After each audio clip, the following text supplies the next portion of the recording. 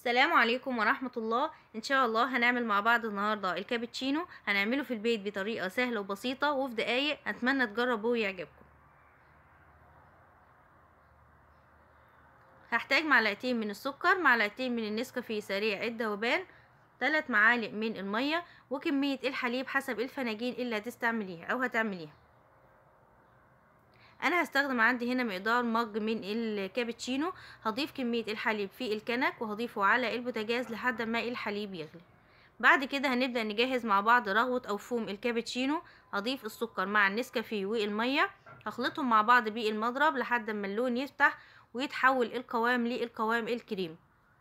هحتاج حوالي من دقيقتين لثلاث دقايق بالمضرب لحد ما أوصل للقوام المطلوب.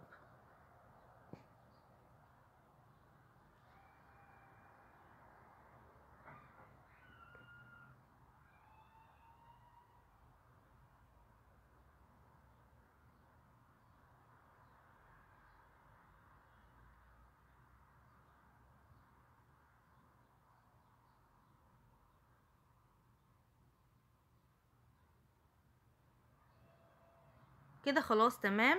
الفوم بقى جاهز. ده عندي هنا القوام؟ والحليب خلاص بعد ما غلى.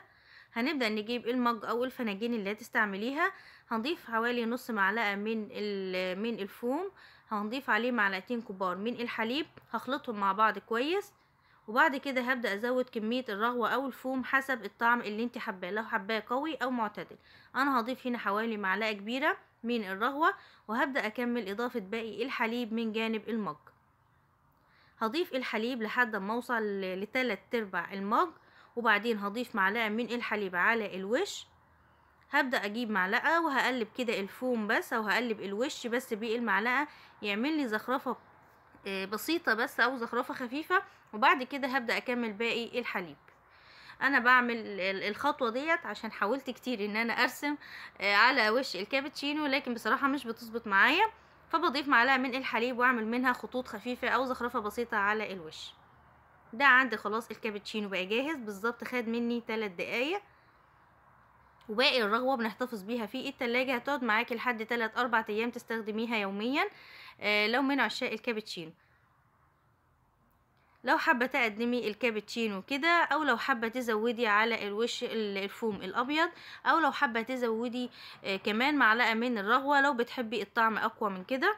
أنا هزود كمان معلقة من الرغوة من رغوة النسكافيه وهقلب الوش بس كده مع بعض وبعد كده يبقى جاهز للتقديم عندي الكابتشينو عملناه في البيت في 3 دقايق. أتمنى تجربوه ويعجبكم إن شاء الله. مع ألف سلامة.